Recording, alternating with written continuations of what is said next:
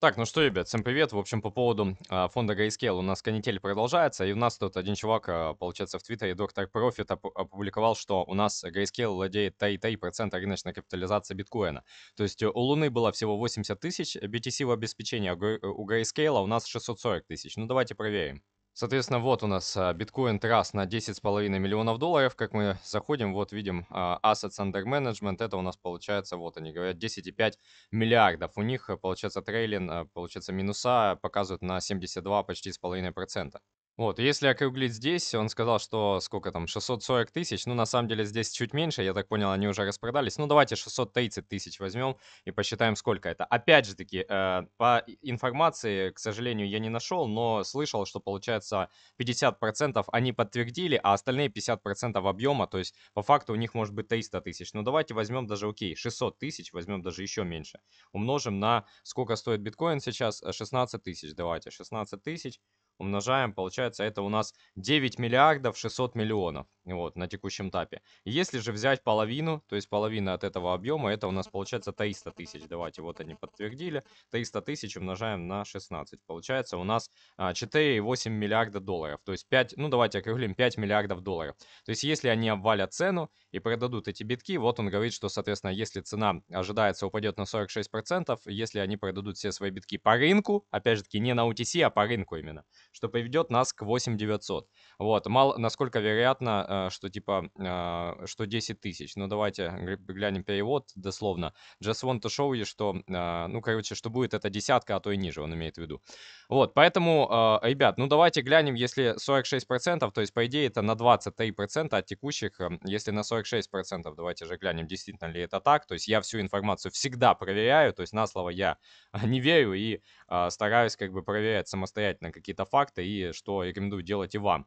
Вот, по поводу, соответственно, цены 46%. Давайте глянем, это у нас Получается где-то, ну да, 8 800, все верно. Если же половина 300 тысяч не продают, это где-то 23% плюс-минус. Это будет у нас 12 500, 12 700. Ну, о чем я и говорю, понимаете? То есть, о чем речь? Это первая остановочка у нас может быть. Плюс у нас там соскамился, возникли слухи а, по поводу проблем в DC, э, DSG, получается. Ну, тот же Genesis Trading, то есть OTC-платформа, они отказ управляющей а, Э, цифровыми активами Grayscale от раскрытия резервов, приостановка, получается, криптолендинговых операций. То есть у нас uh, Digital Currency Group плюс Genesis Trading и Grayscale, я так понимаю, в одной лодке, и, соответственно, они uh, могут курс также обвалить, поэтому имейте это также в виду. Ну, а по поводу, также еще взломавший FTX хакер, у нас, помните, взлом был, он, получается, похитил 251 тысячу эфира, это 235,5 миллионов долларов, и 50 тысяч эфиров он перевел в обернутый биткоин, а тренд протокол и подключил активы к кросчейн мосту.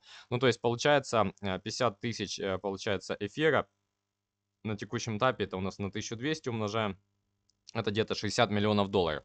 Вот, поэтому тоже, если он прольет свои биткоины, продаст по рынку, то вы же понимаете, ну, я думаю, он будет их холдить, скорее всего. Ну, все может быть, но учитывайте, что цена также упадет. Поэтому я же первая остановка 12 700, вот, и надеяться на то, что все быстро закончится. Вот Джампин э, Джао у нас с таким лицом веселым говорит, что биткоин не умер, мы все еще здесь. И, соответственно, недавно подтвердил, биткоин не умер, поскольку сообщество все еще активно участвует в обладающей криптозиме.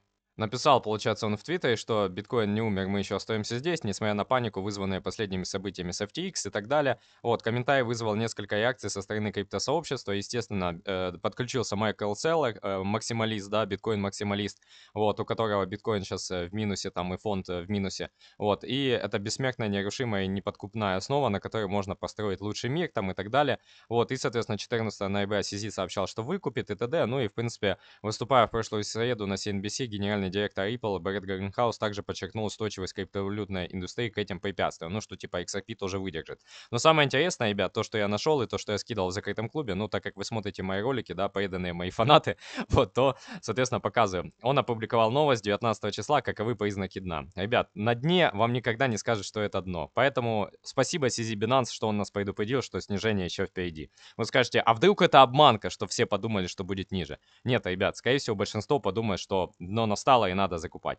Вот и все. Поэтому а, можно гадать, а, как бы всегда 50 на 50, да, надо понимать это. Либо вниз, либо вверх, но я считаю, нас еще свозят как минимум еще до 12 700, но что все повыходили на панике, это ниже 10 тысяч долларов. Даже самые ярые инвесторы и фанаты биткоина, они распродадутся ниже десятки, потому что будут думать о выживании, а, будут бояться, что у них минуса по портфелю, либо просто сработают эмоции, паника и подумают, что криптоскам, а негативный фон будет этому способствовать. Так вот, и важную мысль еще скажу, запомните сейчас момент. Я рассказывал, как определить фейк отскок либо разворот, я говорил, что никак, мы это узнаем только постфактум, кто смотрел этот ролик, э, тот помнит, если кто нет, обязательно посмотрите, там он на 30 минут, но смотрится на одном дыхании, очень полезный, будет поле особенно полезен, кто не умеет контролировать свои эмоции, и новичкам, кто пришел только в крипту.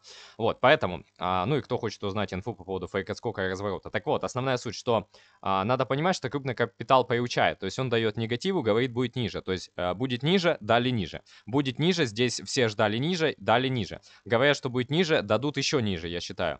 Вот, но когда будет разворот, будут все равно, и, ну, вернее, когда будет дно и когда будет разворот, вот здесь вот здесь, в 2020 году тоже говорили, что будет ниже. То есть крупный капитал, как собака Павлова, да, собаку Павлова воспитывает, то есть кнут и пряник, то есть сбылось, сбылось. И люди думают, ага, но если мы три раза до этого падали и говорили, что будет ниже, значит еще упадем, понимаете? И вот так люди дрессируются. Понимаете, а так как большинство людей, 99% этого не одупляют, что они поддались дрессировке неосознанно от крупного капитала, СМИ, там, регулятора и так далее, то они будут дальше ждать ниже. И вот здесь, когда я присутствовал, ждали еще ниже, ждали биткоин обратно сюда, к этим отметкам по 3000, 4000 долларов, да, а то и по 2, а то и по 1000. Многие блогеры, 99% из них говорили, что будет ниже, и лишь единицы говорили, что возможно это дно, и, ребят, закупайтесь. Остальные говорили, не надо закупаться, либо закупайтесь на половину объема, либо на 30%, не надо торопиться, будет еще ниже, биткоин по тысячу, по две, типа это еще не финальный дам.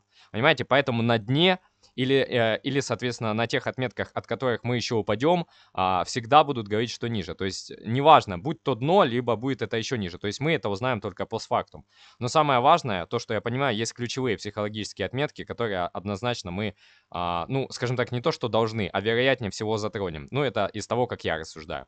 Пишите в комментах свои мысли, будет интересно почитать. Всем удачи, всем пока. И я считаю, до 12 700 как минимум мы можем сходить. Вероятность очень высокая. Всем удачи, всем пока. Ну и спасибо Сизи за то, что сказал, что дно еще впереди.